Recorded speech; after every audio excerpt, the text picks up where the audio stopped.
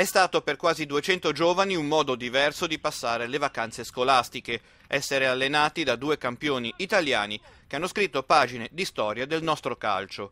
L'iniziativa è dell'Associazione Sportiva Roma e di Genova International, una scuola calcio attiva tra Liguria e Piemonte, diretta da un australiano di origine italiana che ha giocato a lungo in Europa nei campionati professionistici. I ragazzi, un bel ricordo, bellissimo ricordo che sono stati allenati dai campioni, hanno avuto un sapore del calcio vero, come va giocato, come va eh, interpretato. È stato dimostrato qua sui campi dei miglioramenti che i ragazzi hanno fatto negli ultimi 15 giorni. Da queste parti il calcio fatica a imporsi come sport nazionale. Il settore giovanile qui è trascurato e soprattutto mancano i maestri. I ragazzi sono stati seguiti da Giuseppe Sabadini, che ha brillato come terzino nel Milan, ha vestito in quattro occasioni la maglia della nazionale ed è stato convocato ai mondiali di Germania 74.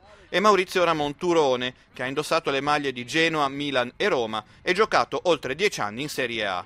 Non solo, il progetto ha avuto successo, verrà ripetuto a gennaio e la Roma ha intenzione di diventare in Australia un punto di riferimento fisso per chi aspiri a diventare calciatore professionista. Le squadre dovrebbero puntare tutte sul stagione per un semplice fatto che creare e far crescere i ragazzi in casa costano molto meno e oltretutto rimangono anche molto più attaccati alla maglia. La Roma ha aderito a questo progetto perché è un progetto che sicuramente eh, per conto mio avrà dei frutti, non certamente oggi o domani, ma nel tempo, perché siccome la Roma ha intenzione di rimanere qui nel tempo, per molto tempo, quindi sicuramente uscirà poi qualcosa.